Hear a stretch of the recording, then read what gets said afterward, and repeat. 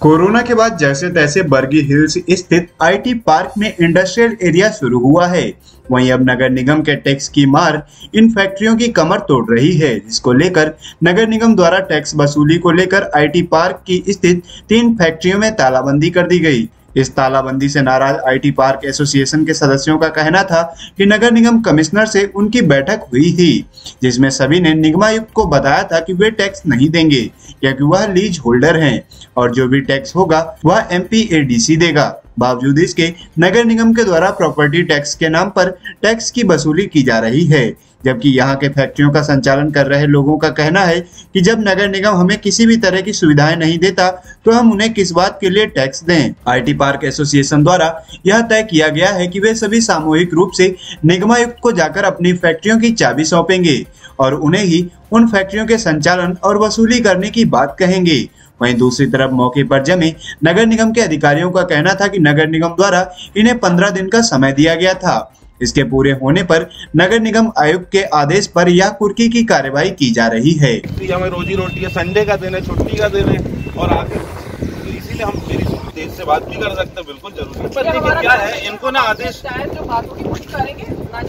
अब क्या हुआ ये आधी कार्रवाई में जा रहे हैं पानी पी रहे तो हम तो बोलेंगे भैया कहाँ हमको धूप में रोक के जा रहे हो? अब बोले बंधक बना रहे तो हम भी चर्चा लेके करने वाले तो कुर्की करेंगे तो हम लोग मैं जा रहा हूँ पानी पीने धूप लग रही है आप लोग देखो।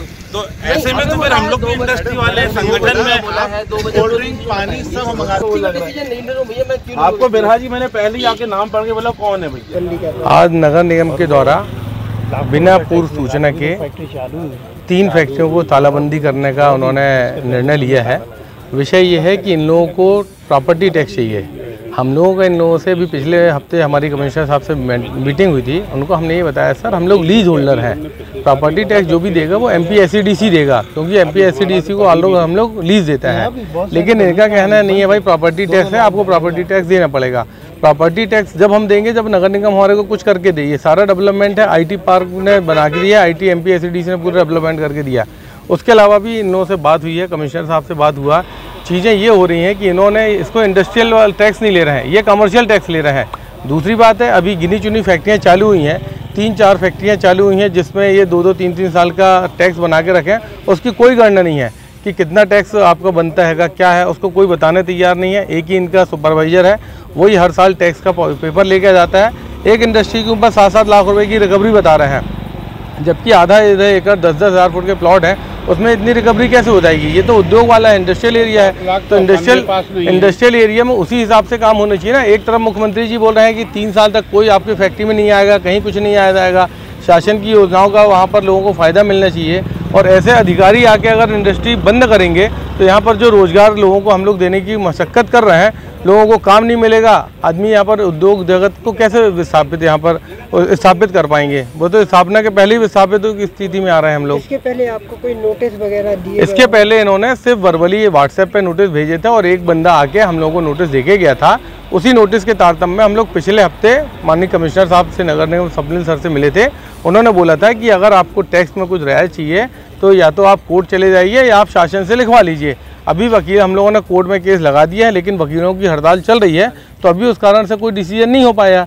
कमिश्नर साहब से मुलाकात होने के बाद उन्होंने स्पष्ट आश्वासन दिया था कि आप लोग अपना काम कर लीजिए हम उसके बाद वसूली करेंगे। लेकिन अचानक से कल के बाद से ये हुआ कि आज आके हमारे यहाँ की फैक्ट्री में ताला लगाने की कार्रवाई करने लग गई। आज जो तालाबंदी हुई है उसकी कोई सूचना दी गई नहीं पूर्व में कोई सूचना नहीं गई। पूर्व में कोई भी सूचना नहीं गई। हमारे जो इन्वेस्टर हैं उनका सुबह सुबह फ़ोन आया कि फैक्ट्री में ताला लगाने लोग आए हैं। तो हम लोग सभी लोग यहाँ पर एकत्रित हुए हैं।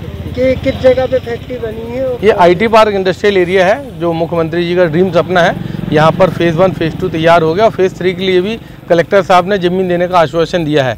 लेकिन जब पुराने लोगों के साथ ऐसी चीज़ें होंगी स्थितियाँ निर्मित होंगी तो यहाँ पर उद्योग लगाने के लिए आएगा कौन?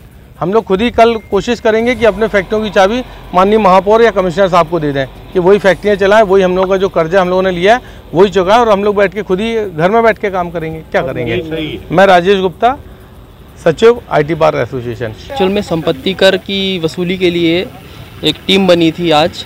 सुबह सुबह उपायुक्त महोदय और सहायक आयुक्त महोदय और अपर अपर आयुक्त महोदय सी गोहल सर के निर्देशन में हम लोग ये कुड़की की कार्रवाई के लिए आए थे आईटी पार्क में इंडस्ट्रियल पार्क। और छियासठ प्रॉपर्टियाँ यहाँ पर ऐसी हैं जहाँ पर टैक्स जमा नहीं हो रहा है। लगभग सड़सठ लाख रुपए बकाया है इन पर। तो उनकी सूचीबद्ध हम लोग लेकर आए थे पहली प्रॉपर्टी में। हम लोगों ने कुड़की कार्रवाई की, तालाबंदी की कार्रवाई की है उसमें। तो अब उसके बाद इनका कुछ निर्णय हो रहा है। तो हम लोग बस उसके डायरेक्शंस का वेट कर रहे हैं कि अब अगली कार्रवाई क्या करनी है। अभी हम लोगों को डायरेक्शन ये मिले हुए हैं कि आप लोग अभी आधे घंटे का वेट करिए। कमिश्नर साहब से बात चल रही है। जैसा भी निर्णय होगा वैसी कार्रवाई का अपन संपादन करेंगे आगे। व्यापारी क्या बोल रहे हैं इस पे? व्यापारियों का कुछ अलग मुद्दे हैं। व्यापारियों का कहना है कि ये लैंड इंडस्ट्रियल है इसका टैक्स नहीं लगना चाहिए। और कोई दूसरी फर्म भी है जो उनसे टैक्स वसूल कर रही है। तो उनके बीच में भी कुछ कॉन्फ्लिक्ट चल रहा है। तो अपने को इसके बारे में जानकारी नहीं है। चूँकि अपन नगर निगम संस्था है हमारा कुछ करों का भुगतान दे रह गया है। हमने इनको बाकायदा एक सौ धारा एक सौ तिहत्तर के तहत इनको बिल की तामीली करवाई है, एक सौ चौहत्तर के नोटिस दिए हैं। और जितने जितने नोटिस इनको हमने समय समय पर फ़ोन में भी सचेत किया कि भाई अपना टैक्स जमा करिए, लेकिन अभी तक कुछ टैक्स जमा नहीं हो पाया है। अब इनकी जो भी बात चल रही है, उसके अपन अनभिज्ञ है। हो सकता है उच्च उच्च अधिकारी इससे जानकारी मतलब रखते हुए कमिश्नर साहब के भी संज्ञान में था। उन्होंने हम लोगों को पहले मना किया था कि अभी पंद्रह दिन का इनको समय दिया है टैक्स जमा करने के लिए। क्योंकि अब पंद्रह दिन समाप्त हो चुके हैं तो उनके ही निर्देशन में हम लोगों ने ये कार्रवाई संचालित की है। और अब जैसा हम लोग को डायरेक्शन मिलेगा ऐसा हम अगली आग, आगे कार्रवाई करेंगे। कितने साल से बैलेंस है इनका? इनका करीब तीन तीन चार चार साल का पैसा बैलेंस हो गया है चूँकि इंडस्ट्रियल एरिया है।